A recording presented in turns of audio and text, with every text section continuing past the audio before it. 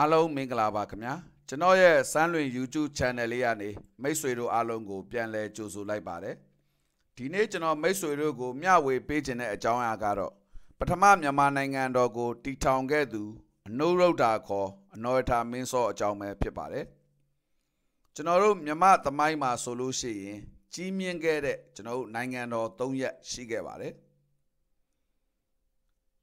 ၎င်းနိုင်ငံတော်တို့ကိုတီထောင်ခဲ့တဲ့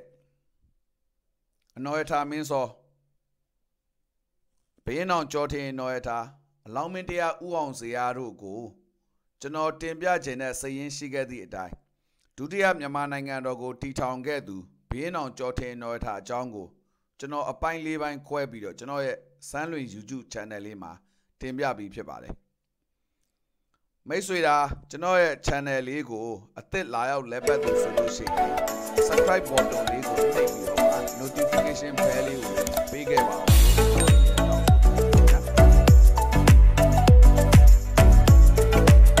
နော်ရထာမင်းစောပထမမြန်မာနိုင်ငံတော်ကိုတီထောင်ခဲ့သူနော်ရထာမင်းစောဟာပကံဘရင်ကွင်းစောကြောင်ဖြူမင်းရဲ့သားတော်ဖြစ်ပါတယ်ပကံမင်းဆက်50 50ရှိတဲ့အနက် နော်ရထာမင်းစောဟာ42ဆက်မြောက်မင်းဖြစ်ပါတယ်အနော်ရထာမင်းဟာပကံပြည့်ရှင်ကွင်းစော်မင်းဟုလည်းခေါ်သော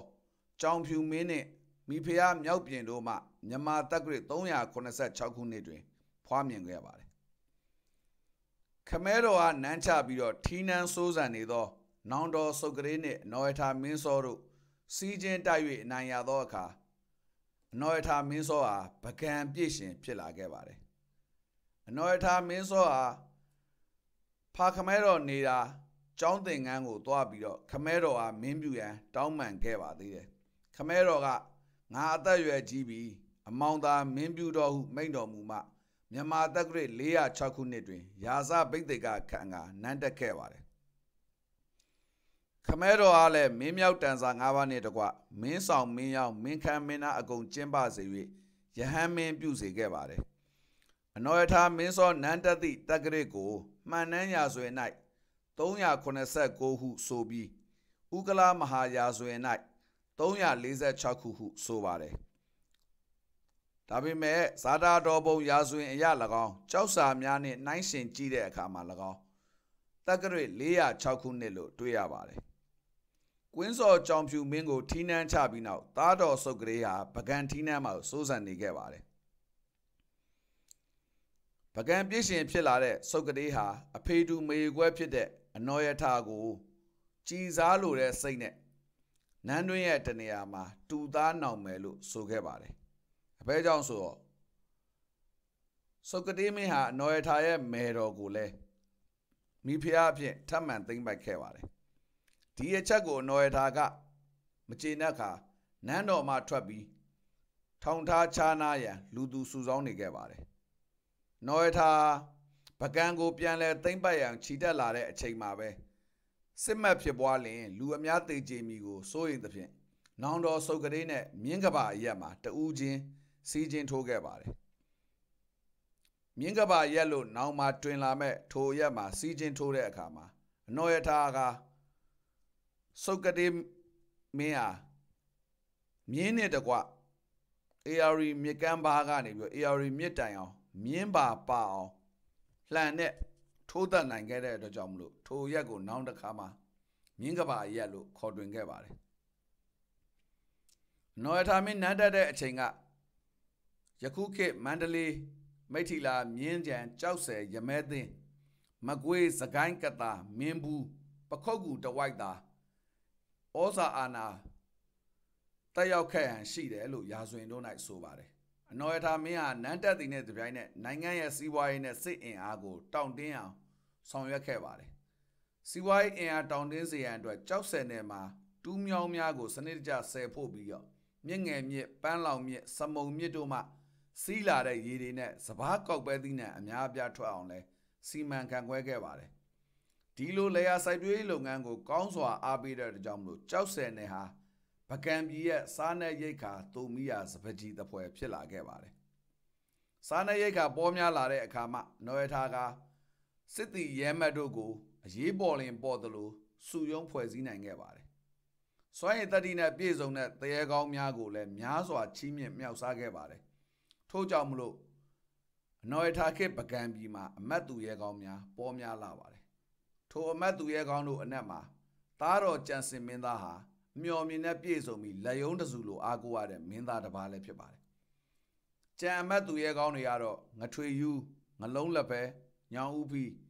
ဗျက်တာနဲ့ရွှေဖြင်းညီတောင်တို့ဖြစ်ကြပါတယ်ပထမမြန်မာနိုင်ငံတော်ကြီးကိုစူးစီးတီထောင်ရာမှာဒီသူရဲကောင်းတွေရဲ့အားကလည်းကြီးစွာအထောက်ပံ့ဖြစ်စေခဲ့ပါတယ်နော်ထာမင်းဟာ စစ်တပ်တွေကိုဖွဲ့စည်းရမှာလက်အောက်ခံ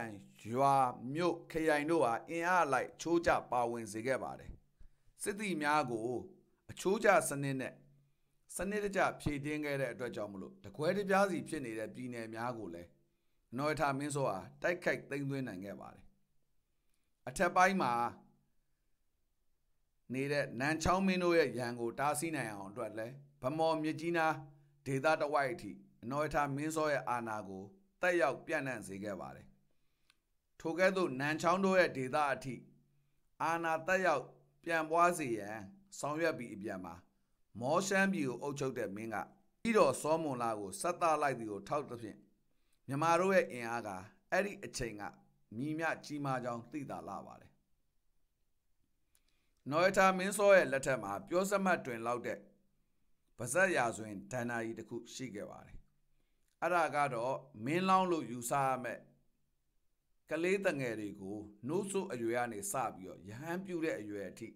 အစုလိုက်အပြုံလိုက်တပ်ဖြတ်ခြင်းပါပဲနော်ထာမင်းဆိုဟာထူးခြားတဲ့နမိတ်ကိုတွေ့တဲ့အတွက်ကြောင့်မလို့သူ့ရဲ့ပရောဟိတ်ဘေဒင်ဆရာတွေဖြစ်တဲ့ဟူရာဖြူဟူရာညိုကိုမင်းမြန်းခဲ့ရမှာနောင်ပေါ်လာမဲ့မင်းလောင်းဟာပြိတ္တတွေတဲနေပြီလို့ပရောဟိတ်ဘေဒင်ဆရာတို့ကနမိတ်ဖတ်ပြခဲ့ပါတယ် နော်ထာမင်းစောကထီးနှံမစွန့်ကျင်တဲ့အတွက်ကြောင့်မလို့ကိုဝင်ဆောင်မိမအားလုံးကိုတတ်စေခဲ့ပါတယ်နောင်ကာလအတန်ကြာလို့ပရောဟိတ်တွေကိုထပ်မံမင်းမြန်းတဲ့အခါမှာကလေးဟာမင်းလောင်းဟာမသေးဘဲနဲ့နိုးဆုအရွယ်ရောက်နေပြီလို့ဆိုတဲ့ဒါကြောင့်မလို့နိုးဆုအရွယ်ကလေးအလုံးကိုလည်းတတ်စေခဲ့ပါတယ်နောက်တစ်ချိန်ထပ်မေးရမှာလဲမင်းလောင်းဟာကြံရစ်နေသေးတယ်လို့ဆိုသဖြင့်နွားချောင်းသားအရွယ်ရောက်နေပြီလို့ ပရောဟိတ်တို့ကထပ်မံပြောသဖြင့်နွားချောင်းသားအရွယ်အလုံးကိုလည်းတတ်စေခဲ့ပါတယ်နှစ်တော်တော်ကြာတော့နော်ထာမင်းစောဟာပရောဟိတ်တို့ကိုထပ်မံမေးမြန်းခဲ့ပါတယ်ဒီအခါမှာလဲယဟန်ပြုနေပြီလို့ဆိုကြပြန်ပါတယ်အကယ်၍ယဟန်ပြုနေရင်နန်းတော်သို့စွန့်ဖိတ်ကျွေးပါကနန်းသုံးခရနဲ့ရေတိုက်ပြီးအာဂရင်းမှာဆော့ရောင်ထွက်သူဟာမင်းလောင်းဖြစ်မယ်လို့ပရောဟိတ်တို့ကဆိုပါတယ်ဒါကြောင့်မလို့နော်ရထမင်းစောဟာ ယဟန်တော်များကိုနန်းတော်သို့ပင့်ဖိတ်ပြီးတော့စွန့်ကြွေးစေခဲ့ပါတယ်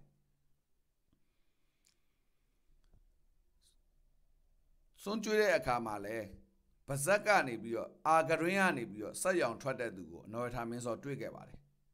ဒီတစ်ခါအနော်ရထာမင်းစောကပရောဟိတ်ဘေဒင်ဆရာတို့ကိုမေးတဲ့အခါမှာဤမင်းလောင်းဟာအရှင်မင်းကြီးကိုလူ၍ထီးနှံသိမ့်ယူမိသူမဟုတ်ပါ မင်းနောက်တစ်ဆက်ကြော်မှမင်းဖြစ်မိသူလို့ဆိုသဖြင့်အနော်ရထာမင်းစောကငါထီးနှံကိုလူမဲ့ထင်သဖြင့်မဆိုင်တဲ့လူတွေကိုငါအကြောင်းမဲ့တတ်ခဲ့လေပြီလို့ကြီးစွာနောင်တရခဲ့ပါတယ်ဒါကြောင့်မလို့အာဂရင်းမှဆက်ရောင်ထွက်တဲ့ထိုမင်းလောင်းအားနန်းတော်သို့ခေါ်ပြီးသူကောင်းပြူထားပါတယ်ကြံရစ်ခဲ့တဲ့သားကြံရစ်ခဲ့သောသူလို့အတိပ္ပယ်သတ်မှတ်ပြီးခေါ်တာ နောင်ကာလခေတ်ကြလာတဲ့အခါမှာကြံစစ်သားရဲ့လို့ဖြစ်လာခဲ့ပါတယ်သို့ပေမဲ့လို့ဒီအဖြစ်အပျက်ဗဇက်ထိုင်ရာကြီးများဟာခိုင်မာတဲ့တတ်သိအထောက်အထားမတွေ့ရှိပါဘူးခင်ဗျာ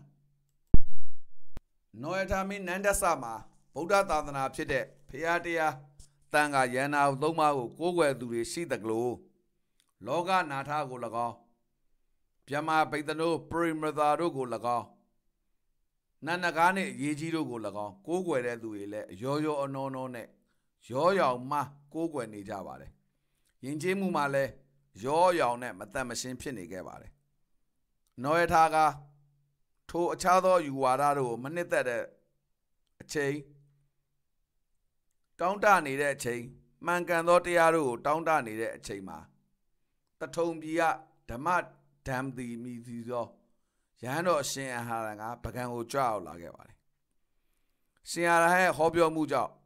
နောရထမင်းစောနှင့်တကွပြည်သူပြည်သားအများတို့ဟာဗုဒ္ဓအယူဝါဒ၌တည်ကြပါတယ်မြန်မာနိုင်ငံတော်နိုင်ငံတော်ဘာသာအစနောရထမင်းကဖြစ်ကြောင်းတတ်မိုင်းတတ်သေးအထောက်အထားများအရအတည်ပြုနိုင်ကြပါတယ်ဗုဒ္ဓသာသနာကိုနိုင်ငံတော်ဘာသာသာသနာအဖြစ်နောရထမင်းကစတင်သတ်မှတ်ခဲ့ပါတယ်နိုင်ငံတော်ဗုဒ္ဓဘာသာနိုင်ငံတော်ဘာသာကို ပြဋ္ဌာန်းခဲ့သည်မှာပထမမြန်မာနိုင်ငံတော်ကိုတည်ထောင်ခဲ့သူမနောထာမင်းစောနန်းတက်ခဲ့သည့်1044မှစတင်ရည်ရွယ်ရည်တွက်ခဲ့မယ်ဆိုလို့ရှိရင်ယခုခရစ်နှစ်2020မှာနှစ်တစ်ထောင်နီးပါးရှိပြီလို့တမိုင်းထောက်ထားများအရ TV ပြောကြားနိုင်ပါတယ်ဗုဒ္ဓဝါဒအယူဝါဒပြန်ပွားရေးအတွက်လည်းအနော်ထာမင်းက ကောင်းစွာအားထုတ်တော်မူခဲ့ပါတယ်နော်ထာမင်းစောဟာ490ခုနှစ်မှာစစ်တီဘိုးပါအလုံးရင်းနဲ့ခြီးပြီးပရိကတ်တော်အဆောင်30ကိုပင့်ဆောင်ခဲ့ပါတယ်။အမှုပညာသည်လက်မှုပညာသည်များကိုလည်းခေါ်ဆောင်ခဲ့ပါတယ်။တထုံပြည်ကိုလည်းတနင်္သာရီဒေသအထွေသိမ်းသွင်းခဲ့ပါတယ်။နော်ထာမင်းကပကံပြည်မှာရှိတဲ့ယဟန်တော်များကိုဖျားရှင်ရဲ့ပရိကတ်တော်အစ်စ်များကိုတင် जा စေခဲ့ပါတယ် သင်ကြားနိုင်အောင်လဲပရိကတ်တော်များကိုမွန်အခရာမှမြန်မာအခရာသို့ပြန်စေခဲ့ပြီးပကံမျိုးတဝိုက်ပရိကတ်တိုက်တာအဆောက်အုံများစောက်လုပ်လူဒန်းခဲ့ပါတယ်ထိုစောက်လုပ်လူကန်းခဲ့တဲ့ပရိကတ်တိုက်တာအဆောက်အုံများကိုယခုတိုင်အောင်ပကံမျိုးဟောင်းအနီးမှာတွေ့ရှိနိုင်ပါတယ်ထိုချိန်မှစ၍မြန်မာနိုင်ငံဟု၎င်းမြန်မာနိုင်ငံယဉ်ကျေးမှုဟု၎င်းခေါ်ဆိုနိုင်သောပကံပြည်နှင့်ပကံယဉ်ကျေးမှုဟာနော်ရထားမင်းစောရဲ့ အာနဇက်ရှင်အာရဟံရဲ့ဓမ္မဇက်၎င်းတို့နှစ်ဦးရဲ့ဉာဏ်ပညာလုံလာတို့ကြောင့်ပြည်တော်စုမြန်မာနိုင်ငံသမိုင်းမှာပထမဦးဆုံးချိန်ကျယ်ပြန့်၍စီလုံးသော နိုင်ငံတော်တစ်ခုကိုရရှိခဲ့ပါတယ်ထိုချိန်ကရခိုင်ပြည်ရဲ့မြို့တော်မှာစစ်တွေနယ်မှာရှိတဲ့ပြည်စာမြို့ဖြစ်ပါတယ်ထိုစစ်ပွဲမှာလည်းမြန်မာတို့ကရခိုင်ကိုအနိုင်ရတဲ့အတွက်ကြောင့်မလို့ရခိုင်ပြည်မြောက်ပိုင်းတစ်လျှောက်ဟာ ပကံခေတ်တလျှောက်လုံးမြန်မာနိုင်ငံရဲ့လက်အောက်ခံနိုင်ငံတစ်ခုဖြစ်လာခဲ့ပါတယ်။ရခိုင်ပြည်ရာဇဝင်မှာရခိုင်ပြည်မြောက်ပိုင်းကိုအနော်ရထားမင်းစောကတိုက်ခိုက်သိမ်းယူကြောင်းပြူ9000နှစ်ပြူမင်းလာသည်ဟုအတိအကျဖော်ပြခဲ့ပါတယ်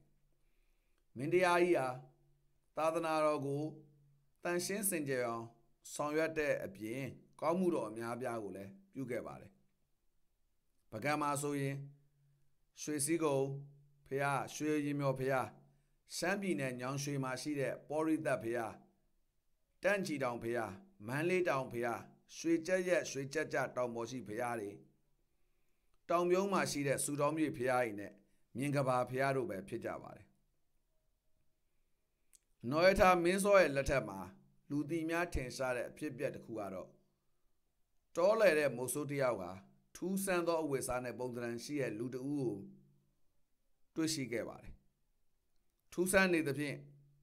စူးစမ်းကြည်ဟာဗုဒ္ဓ၏သားတော်ယဟန်တော်ဖြစ်ကြောင်းသိရှိရပြီးဘယင်ထံသို့ပင့်ဆောင်ခဲ့ပါတယ်ထိုယဟန်ကဓမ္မဒန်တီခေါ်ရှင်အာရဟံပဲဖြစ်ပါတယ်အနောထာမင်းနဲ့ပြည်သူတို့ဟာယဟန်တော်ရှင်အာရဟံရဲ့အဆုံးအမကိုခံယူပြီးတော့ထေရဝါဒဗုဒ္ဓသာသနာဝင်တွေဖြစ်လာခဲ့ပါတယ်ထို့နောက်အနောထာမင်းစောဟာတနိုင်ငံလုံးမှာရှိတဲ့မှားယွင်းသောအယူဆမှဖြစ်တဲ့ တန်ဒရစ်အယူဝါဒနဲ့အရေးကြီးတို့ကိုလည်းတိုက်ခိုက်နှိမ်နင်းခဲ့ပါတယ်ကျွန်တော်ရဲ့ပထမမြန်မာနိုင်ငံတော်ကိုတီထောင်သူအနော်ရထားမင်းစောအကြောင်းတင်ပြမှုကိုဒီမှာပဲခိတ္တခဏရန်နာခွင့်ပြုပါဒုတိယပိုင်းမှာကျွန်တော်အနော်ရထားမင်းစောရဲ့မြန်မာနိုင်ငံတော်တီဆောက်ရေးလုပ်ငန်းများကိုဆက်လက်တင်ပြပေးပါမယ် ကျွန်တော်ရဲ့ channel ကိုအသစ်လာရောက်လည်ပတ်တဲ့သူမိတ်ဆွေဆို subscribe လုပ်ပြီး notification လေးလေးပြီးခဲ့ပါ